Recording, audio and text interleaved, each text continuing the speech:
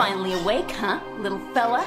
Your partner has been for a while now. Look, shitbag, it takes a lot to keep me down, alright? I took a fuck ton of tranquilizers in the college I dropped out of. Also, I've been strapped nipple first to a car battery, so I. Oh, okay. Hellas, demon scum. Who do you work for?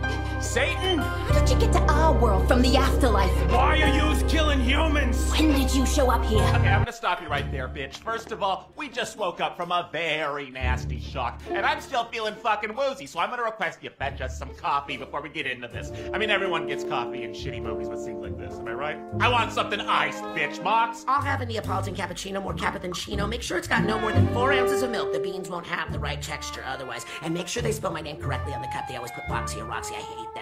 If you can't handle that, I'll have a venti traditional misto. Please use soy milk with two blonde shots, affogato, and ristretto. I'd also love three vanilla pumps at the very bottom, then add the coffee after, then add. Enough!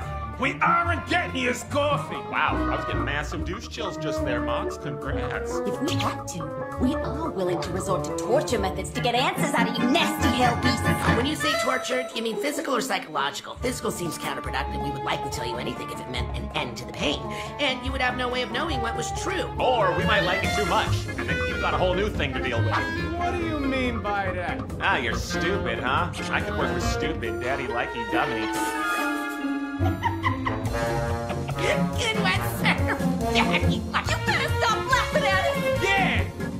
You are the ones at our mercy. It's hard to resist. I'm really sorry. I mean, considering your approach thus far, you've had us tied here for what, hours? And you haven't even had us confirm what exactly we are.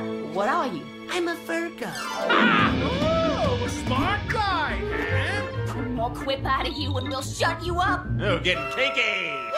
We aren't playing any of Vile Demon Kinks. I mean, that's what it sounded like back there, sickos. Please don't give them ideas, sir. Why not? I know the shit you're into. We are not kinky with juice. Calm down, one! Don't let these monsters get to you! Hey, aren't we gonna get our phone call, bitch? Well, that entirely depends. Who are you gonna call?